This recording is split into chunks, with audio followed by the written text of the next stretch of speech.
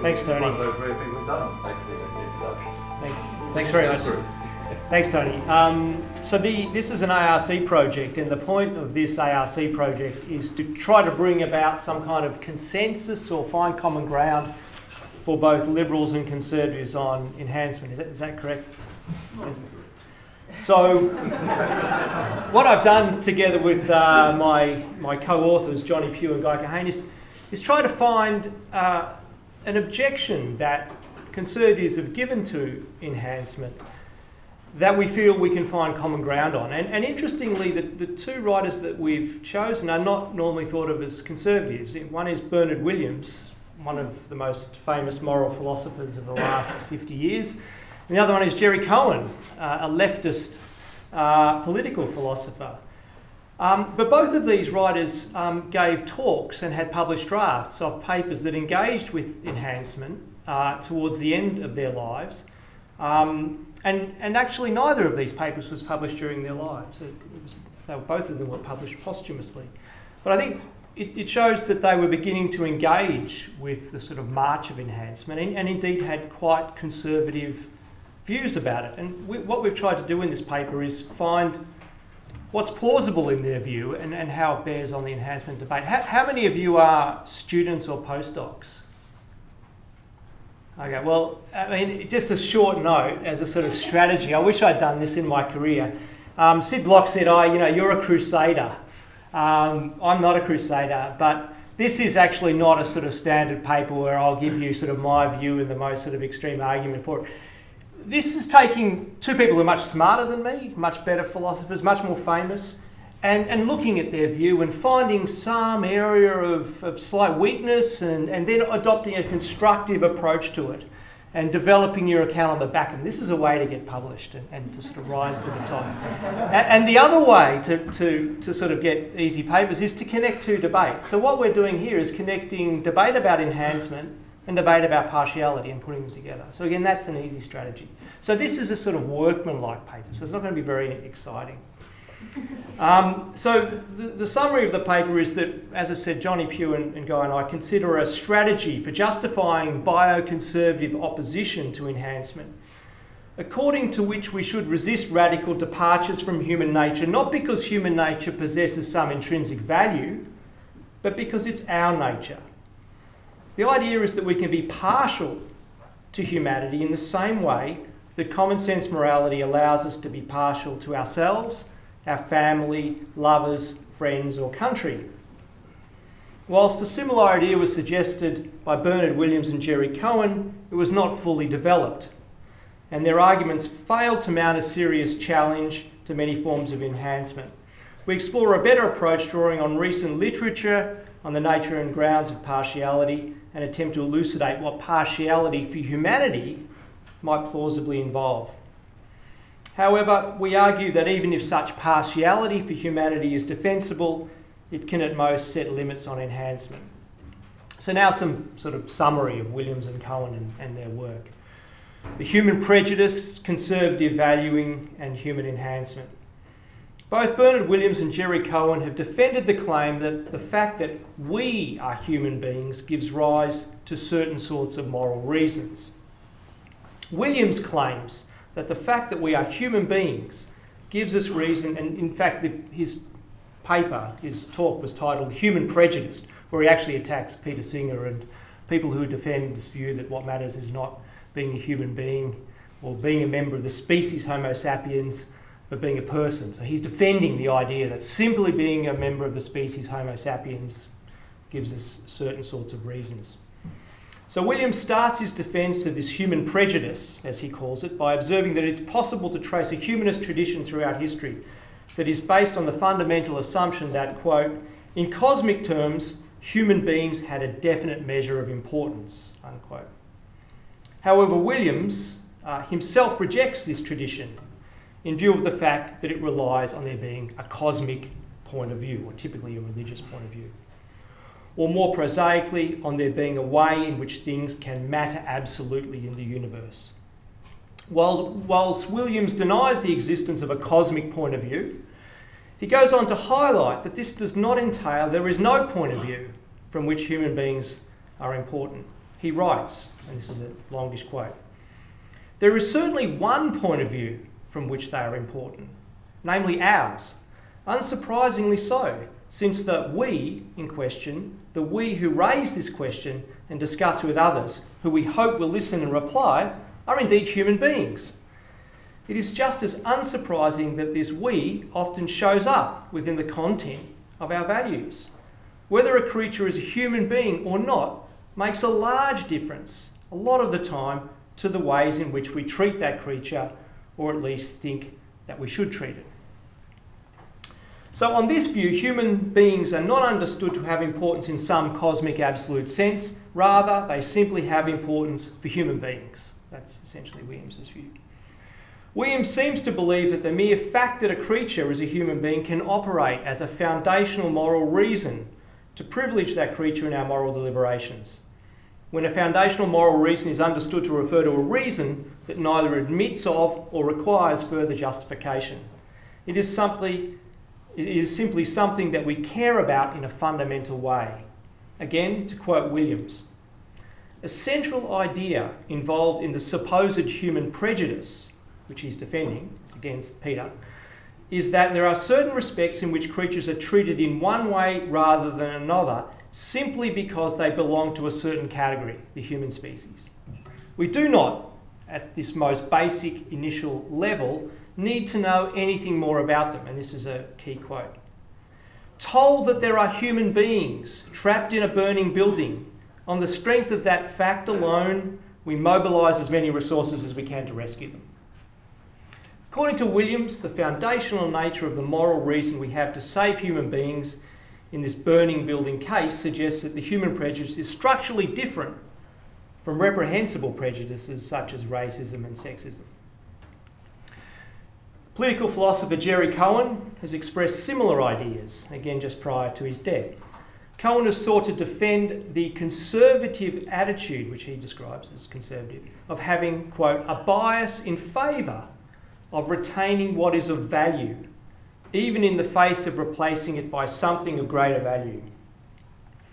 On this attitude, the fact that a bearer of value exists can be understood to confer value to that entity in abstraction from the value that it otherwise bears. Now, this is a complicated notion and somewhat obscure what Cohen means. So, just to try to, to, to, flesh it out through an example, more specifically, Cohen defends two modes of what he calls conservative valuing, which he terms particular valuing and personal valuing. Now, particular valuing the object of the value in question is understood to bear intrinsic value. For example, consider some beautiful landmark. He considers All Souls College, but uh, let's consider the Great Pyramid of Giza. By particular valuing, Cohen suggests that the value of the extant particular intrinsically valuable object, that is the pyramid, um, is not exhausted by the intrinsic value which it instantiates we also value the existing particular object, that is, this particular pyramid of Giza, that instantiates that value itself, in abstraction from the intrinsic value it bears. To illustrate, suppose that, supposedly, suppose that we could undoubtedly replace the pyramid of Giza with an even greater pyramid on whatever criteria you care to introduce. But we could only do so by destroying the original say we had to build the new pyramid on exactly the same site. On Cohen's view, the particular value of the extant original pyramid might give us sufficient reason to refrain from creating a new version, even though it would be better. So that's particular valuing. His second concept is personal valuing. In the case of personal valuing, the object of such valuing may bear either very little intrinsic value or even no intrinsic value at all. Rather, the value of the object lies mainly in its specific relationship to the evaluator. To illustrate, suppose that a family had an old dining table that was only just serviceable. Even though the table, scratched and creaky, uh, uneven, may lack intrinsic value, the family might choose to retain the table even though they could easily replace it with a new one because of the specific relationship that they have to the table. That is, because of the personal value to them. For instance, the table may have been the scene of memorable discussions or it may have been built by a much loved departed relative. Although Cohen doesn't himself point this out, we've suggested in another paper that in the case of personal valuing, it seems plausible to claim that the relationship of the evaluator to the valuable, the valued item that grounds personal value is based in a shared personal history to that item. I think he gives the example, or we do, of a wedding dress, a woman's wedding dress. To other people, it's maybe worthless. To her, it's highly valuable because of the history of that dress for her. So both particular and personal valuing can undergird the conservative bias that Cohen seeks to defend with respect to human enhancement. However, it should be acknowledged that Cohen himself concedes this bias is defeasible. If the value of new objects is sufficient um, and that replace the existing value of an existing object, can be correct to bring about their new existence. However, in such cases, while the conservative may celebrate the new value that's been created, it's also fitting to lament the loss of the existing value. Now, Cohen makes some remarks that suggest that his views regarding conservatism are congruous with the sentiments expressed by Williams. For instance, Cohen writes that we have reason to maintain human beings as they currently exist because they are, quote, creatures that exhibit a certain form of value.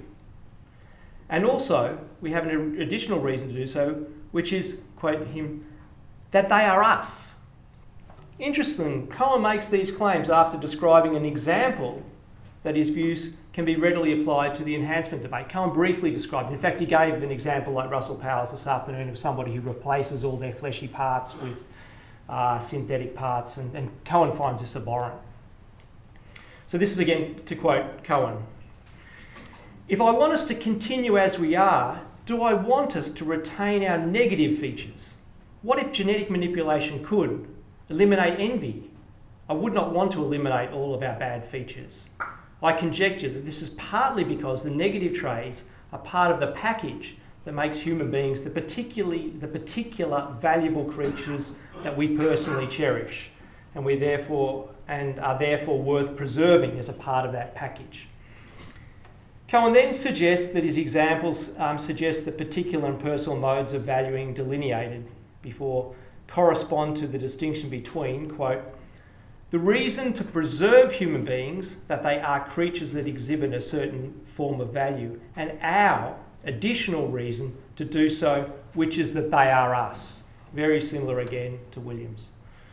One reason that Cohen highlights particularly echoes Williams' own claims about the human prejudice. In his concluding remarks, Williams claims hopes for self improvement can lie dangerously close to the risk of self hatred. The self hatred in this case is hatred of humanity. For Williams, then, to seek to improve human beings in ways that amount to eradicating inherent flaws is to risk expressing a hatred of humanity. For Cohen, though, the reason to preserve human beings, quote, because they are us, unquote, is not strictly foundational, but rather should be understood to correspond to an act of personal valuing. As I've explained, on Cohen's account, the value involved in personal value is grounded by the evaluator's relationship or shared personal history. So, this in, with this in mind, we've suggested elsewhere that there are two ways in which one might argue in favour of preserving human beings as they are by appealing to Cohen's concept of personal value.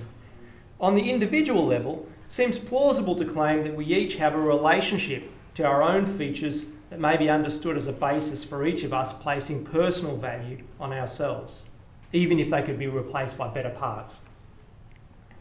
However, to broaden the scope of the argument beyond the individual to the collective level, one would also have to claim that the humans as a species have developed their shared characteristics over the course of a shared biological history.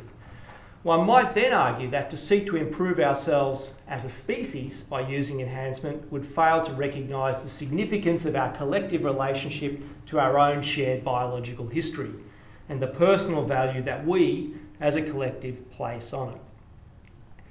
Now, this argument is not without its own limitations. Um, we've argued that Cohen's arguments against conservatism, or in favour of conservatism, can't ground a strong sweeping objection to enhancement. One reason for this is that by Cohen's own light, the conservative bias is defeasible. Furthermore, many attractive enhancements, and we give the example of life extending enhancements, can be understood as potentially preserving valuable features of human beings in a manner that is compatible with this conservative bias. Indeed, it seems that similar arguments can plausibly be raised against the scope of an objection based on Williams' defence of the human prejudice. As we claimed in our analysis of the application of Cohen's conservatism to enhancement, quote, this is us in another paper, in seeking to change certain aspects of human nature through the use of enhancement technology, it seems more accurate to say that we are seeking to improve human nature rather than simply replace it wholesale. It's not clear why merely seeking to improve ourselves must indicate a hatred of what we now are. The limited scope of the objections to enhancement that can be grounded by Williams and Cohen's arguments is not their only flaw. Another problem is that the strength of these objections is dependent on the plausibility of their accounts of the human prejudice and conservative modes of valuing. Yet it seems there are problems with both accounts. First, Cohen himself concluded that his account faces many objections. In particular, it's not clear if Cohen's conservatism is not simply a manifestation of status quo bias. Furthermore, um, I've argued in a piece published in about 2002 um, that despite his claims to the contrary, Williams fails to establish that his human prejudice is morally distinct from other morally deplorable prejudices such as racism and sexism. That piece also includes a defence of what I call personism, the view that what matters is being persons, not human beings, that Williams attacks. Now, rather than attempt to supplement or develop Williams and Cohen's accounts, we want to look at recent debates in partiality and see whether these could be used to elaborate this style of account. So, partiality. A reason of partiality is, is a distinctive kind of moral reason that has its source in a non instrumentally valued attachment. In the absence of the attachment in question, the reasons wouldn't obtain. Common sense suggests that it can be permissible for agents to incorporate reasons of partiality in their moral deliberations. To illustrate, suppose that you are told you have only enough time to save either two people who are drowning on the left side of a pier or one person drowning on the right. If you were told that the one person drowning on the right is your brother, or your husband, or your wife, or your child, this fact might plausibly be understood to make it permissible for you to save him or her rather than the two strangers, even though we would normally claim that you have an obligation to save two people rather than one, other things being equal. In view of, the, in view of this apparent prerogative for partiality, we might claim that we can have defeasible reasons of partiality to favour our friends and family in our moral deliberations. Whilst this may seem intuitively plausible, it raises the question of why certain relationships, projects, and groups um, can plausibly generate reasons of partiality while others cannot. In the case of family and close friends, this question does not seem to be overly problematic. Um, the close ties that we have forged with these individuals may easily be understood to give rise to non instrumentally valuable relationships, and this sort of value can ground reasonable partiality. However, the question is more problematic when we consider, consider partiality to groups of members to which we belong, because we often lack close ties to all members of the groups to which we belong. For instance, even if we believe that co nationality can ground reasonable partiality, it's clearly not the case that we have close individual ties with every co national of ours that exists. Furthermore, we surely cannot be morally justified in being partial to members um, of our own sex or race in our moral deliberations. To illustrate, it would be no moral justification if you're saving the one instead of the two that they were the same sex or the same race as you. This would be discriminatory partiality. So, in order to avoid discriminatory partiality, it seems that one must claim that partiality is only morally justifiable towards attachments that are in some way valuable for instance, John Cottingham suggests that morally justifiable partialities are those in which a plausible case can be made for claiming that the partiality in question must find a place in all or most plausible blueprints of human flourishing. So we developed this the Scheffler's account and, uh, and other accounts of, of justifying partiality, but I'll pass over this. In order to strengthen this sort of account, one would need to establish that there is a non contingent relationship between human flourishing and the abandonment of racist and sexist attitudes. On such a view, holding such attitudes would simply be inimical to human flourishing. Alternatively, one could adopt a view with somewhat broader scope by claiming that partialities are justified as long as they are grounded by a relationship that has final value. On such an account, partialities may be justified by, by valuable relationships that are finally valuable for non welfare based reasons. I'll leave that and make some remarks at the end.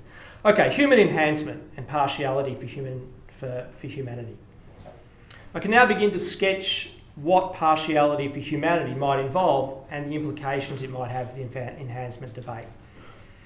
I shall first suggest that an account of partiality for, human, for humanity as being grounded by membership dependent reasons that is, by reasons that flow from our non instrumentally valuing our membership of the human species or family of man.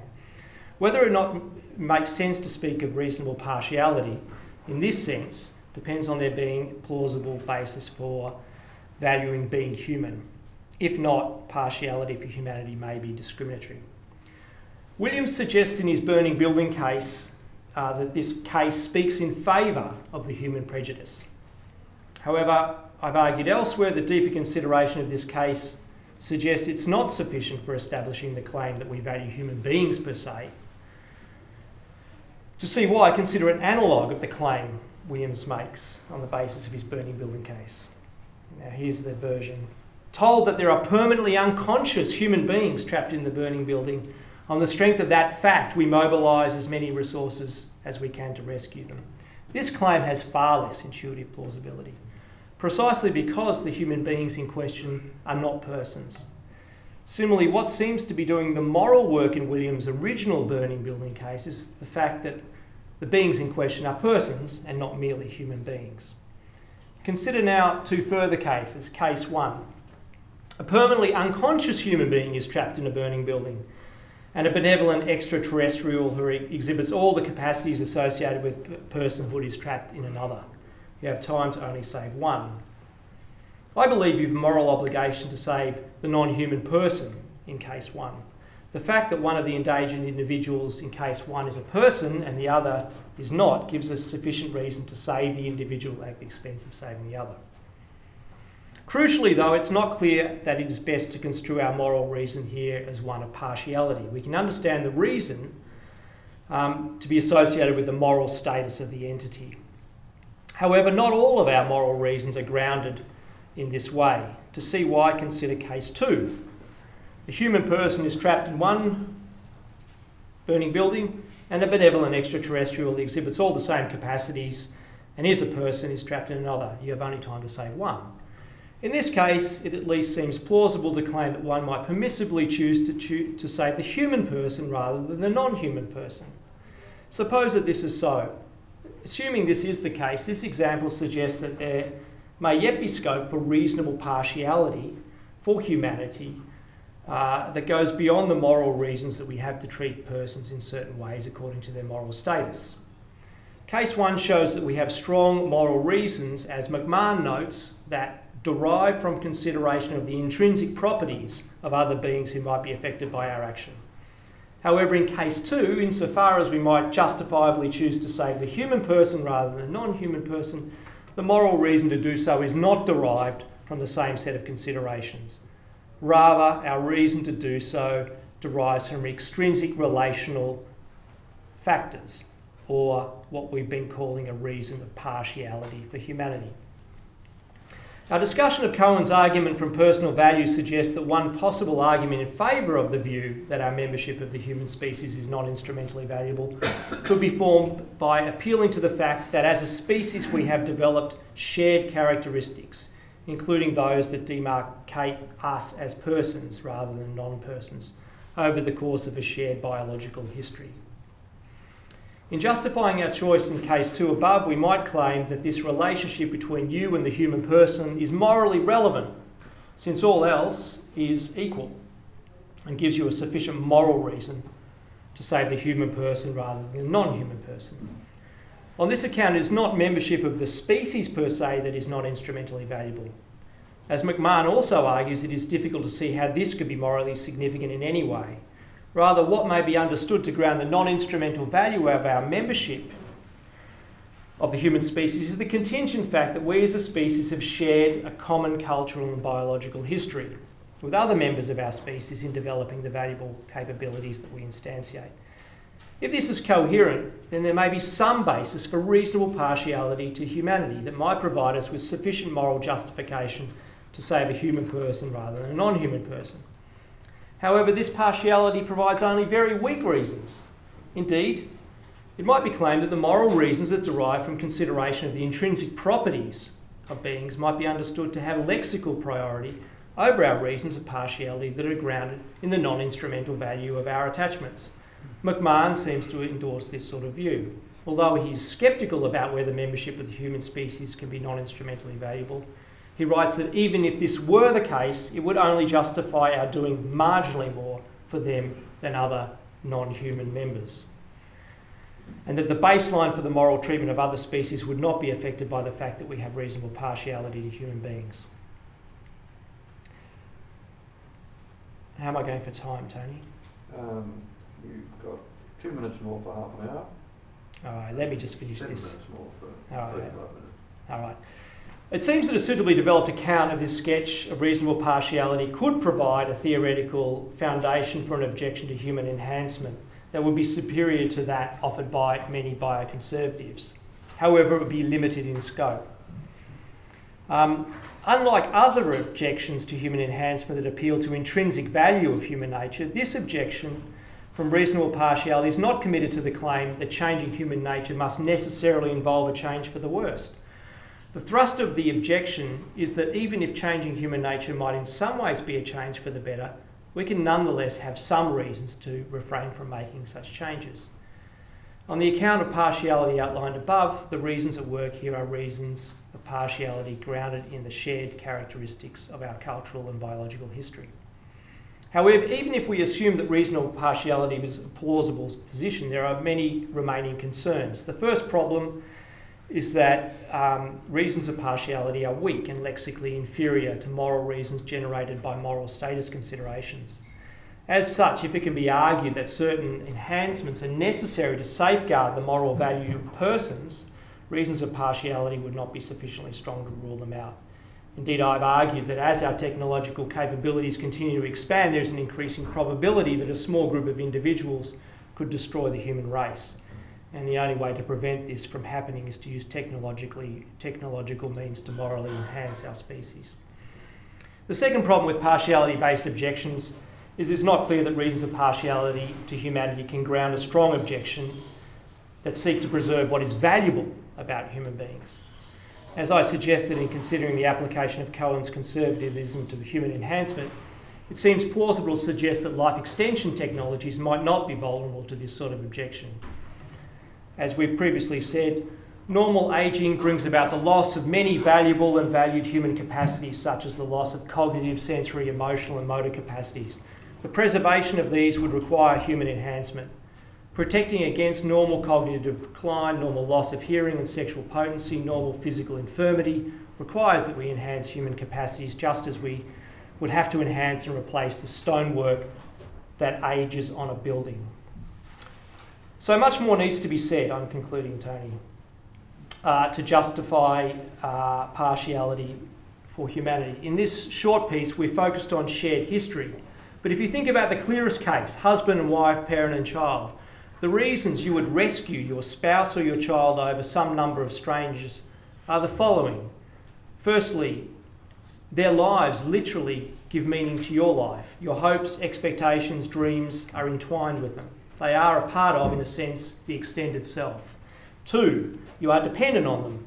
You've entered a series of reciprocal cooperative ventures that mean you are together like a crew on a ship. Simon Longstaff called this vulnerability. Three, they generate ways of being for you. Imagine the father who always goes to the soccer with his son and shares the experience with him.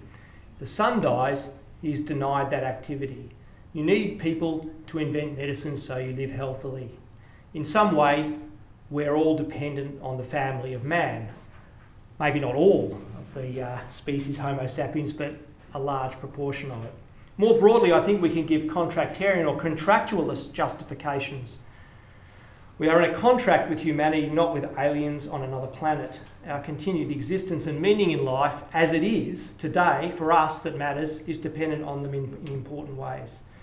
This, I think, gives some reason to resist radical enhancement in the spirit of Williams and Cohen, but this reason is defeasible. Thank you.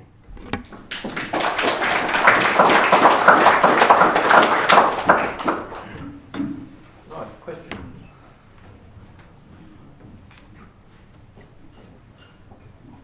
Yeah, One Justin. last question. Um, so Julian, imagine that all we knew was that there was a pregnancy and a being had started to exist, and we knew that it had certain characteristics.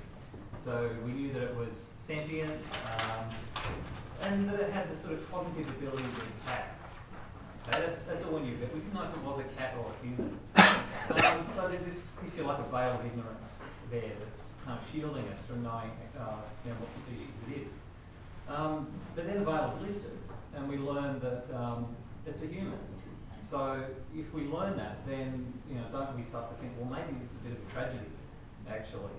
But then if the veil is lifted and it's a cat, we think, well, it's not a tragedy. It's maybe it's a good thing. So this is kind of a further argument, I suppose, that you might be able to use that we need to understand perhaps what species it is in order to set the parameters of value in a way to work out whether or not you know these characteristics that we value are ones that are perhaps as good as they could be. So I just wonder what you thought of that argument. Yeah, I mean, it, it somewhat reminds me a bit of discuss. Uh, somebody, I think it was Bruce, was saying, you know, if you dig up the relatives and you know you urinate on them and so on, this is an act of reverence, you know, uh, or something like that. I mean, what matters in that sort of case is is, is his feelings as the sort of surviving relative, and and what matters in these cases is you know what the life is going to be like and the relationships we're going to have with it. So, in the sense that human beings typically will have, we will have certain kinds of relationships and be dependent on them in certain ways. That is a relevant consideration. Um, so, you know, I, I agree with you. Knowing that information is important, but what matters, you know, even in Cohen's terms, is simply in this personal valuing situation the relationship that you have to that entity. Uh, now, if the human being is going to be anencephalic or the human being is, is going to have a terminal disease and die very you know, early on in, in gestation, then that's not the sort of person that we're going to have that kind of relationship with. Okay, so it's, so it's more than just the characteristics. We need to know, feel like what category to put it into. Well, I think that the, the, the point that I'd like to develop in this later is that I think that we, and I think this came up to some, some discussion before, maybe it was Simon's point about insubjectivity. We're dependent on other people for, you know, essentially our life. Um, we're not dependent on aliens or even, no matter how you know, incredibly superior they are to us in their capacities. And if it were the case that uh, we started to, to fracture that kind of relationship, that would be like um, burning the wedding dress. Uh, it's, it's something that gives meaning to our lives. And I think you know, people are creating apps on your iPhone that you know, give meaning to a lot of people's lives now today. And, and that, that is something that human beings do or human persons do. So I'd replace, replace it with persons, but I think that account is roughly correct that post, post persons or you know, transhumans or post humans may not be the kind of beings that we have a relationship with in the same way. And uh, no matter how good they are making computations, uh, I think this, this sort of objection gives some reason to resist that. Russell. Um, so, I mean, I, I agree with everything you say. Um, I agree that moral status has got to trump whatever value this stuff has. Um, it's hard for me to think of cases where this value is really playing out and doing work in the practical sphere.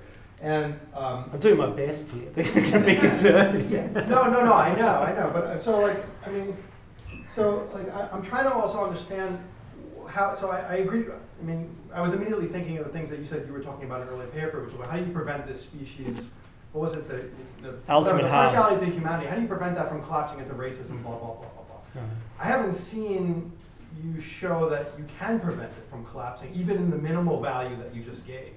So like, you know, we would probably want to say, well, it's still wrong to use that partiality to discriminate, even when there's not moral status stuff at stake, just to discriminate based on uh, skin color or gender or something. It just doesn't, that seems wrong.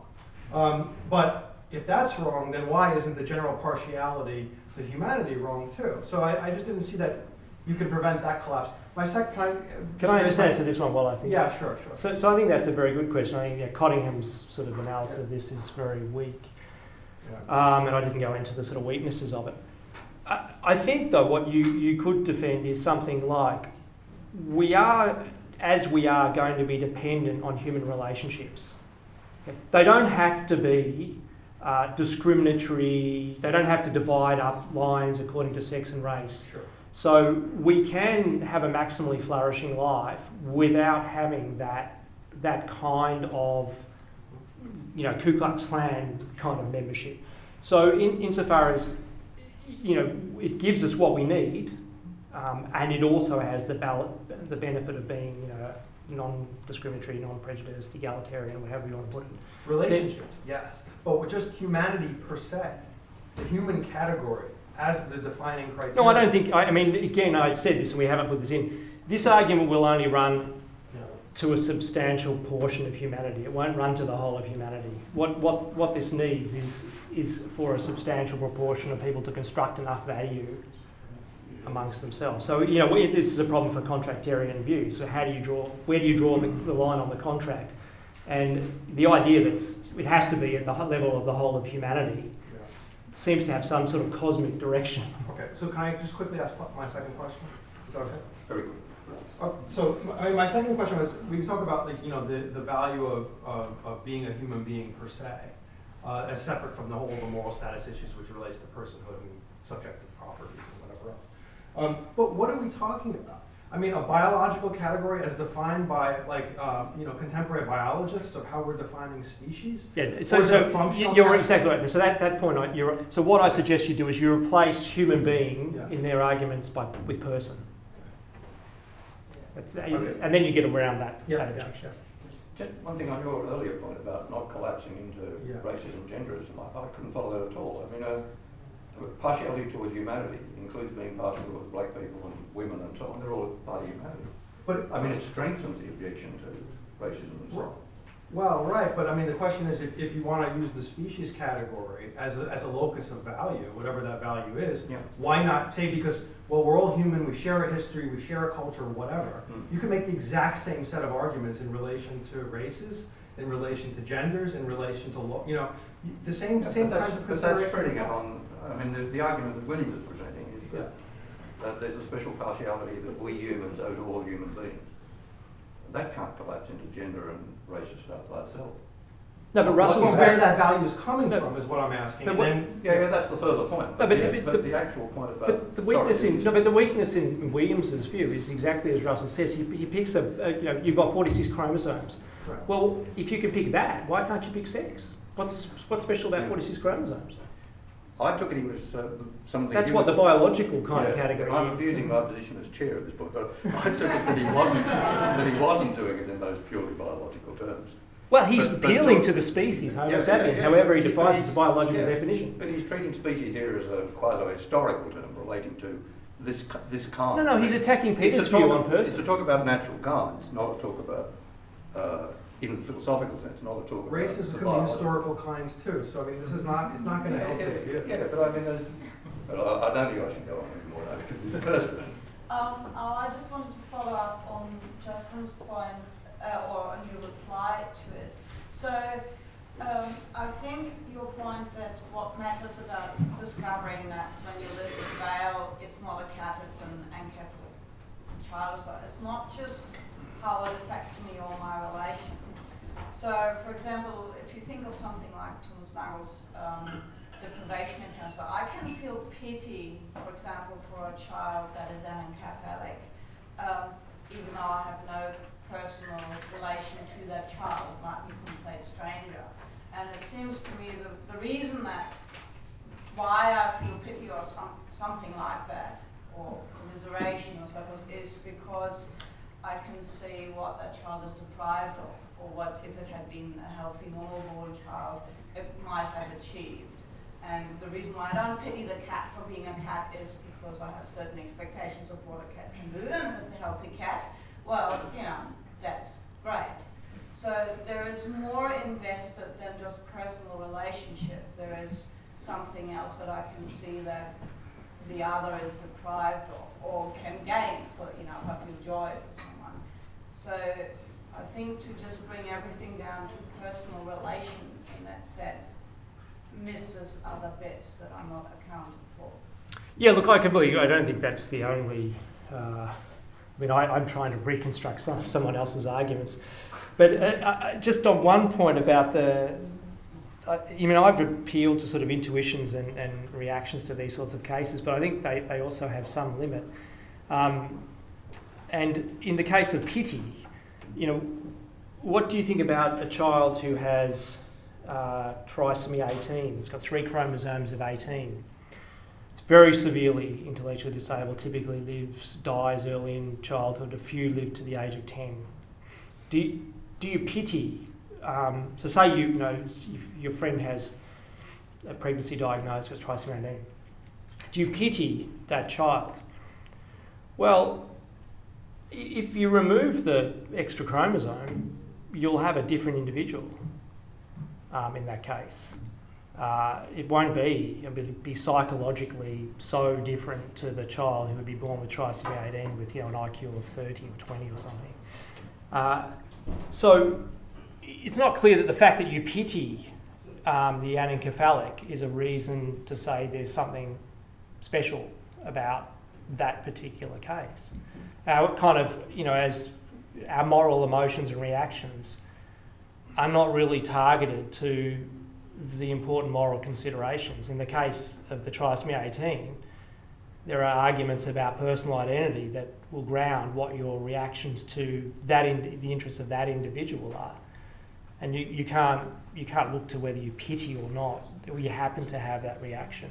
So I'm not sure how, how much our pitying, finding out that you've got an anencephalic child, is going to tell us about the, about the morality of the situation, the ethics of the situation. Well, all I that may be tangential. No, no. all I wanted to say is that the point that uh, Justin made was a generic one. That actually, that you know the context, you know, bef- before and after the veil, adds something considerable to your to your evaluation of the situation.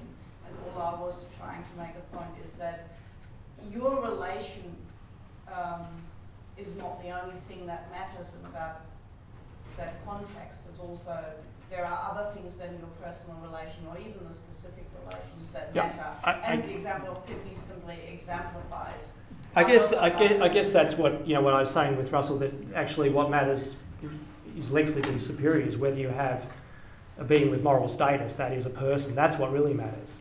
And um, that's what I was trying to get at with Justin. What really matters is not that you find out it's a human being or it could have been a human being. It's that it could have been a person uh, that matters. Is, is the sort of is the moral currency here, not human being. Karen has a question. Make it make it a bit quick. Yeah, yeah. but uh, when when does um, person in the future or when when do transhumans cease to be the persons that we have reasons to care about? Um, so Williams finishes with this sort of, uh, I think it's not Battlestar Galactica, Independence Day. This uh, Independence Day scenario where it's, you know super powerful aliens come to the, and he has this sort of story, you know, incredibly much you know post-humans that come down to the Earth and, and they can run. He claims in this case, in this version, they can run the Earth a lot better than us. Um, and he, you know, he asks, you know, what, what, how should we view this situation? Um, and I, I, think that, you know, my response to him in that piece was, well, it depends. You know, if they actually treat us well, respect our rights, and run the planet really well, we should embrace their arrival. Um, so whether we whether we can have relationships with, with post-humans and how they treat us is not something that just comes out of the fact that they're post-humans, unless you think they're morally enhanced post-humans who will necessarily. So there needn't be a war of post-human versus human. Um, in fact, you know that's if they if in as in the actual Independence Day scenario, if they do attack and try to take over the world, we shouldn't just give in to them as William suggests we should because they're better than us. We should fight because it doesn't matter to us that they're better than us. That's our lives, and we have a right to protect our own lives. So it depends on the relationship that actually you know is occurring. Um, so I think again, it's interesting that even somebody like Bernard Williams gets sort of, I think, very anxious about these um, prospects. He poses the question, doesn't he, whose side are you on, which we've heard quite recently from uh, another quarter. Uh, I'd like to thank you all.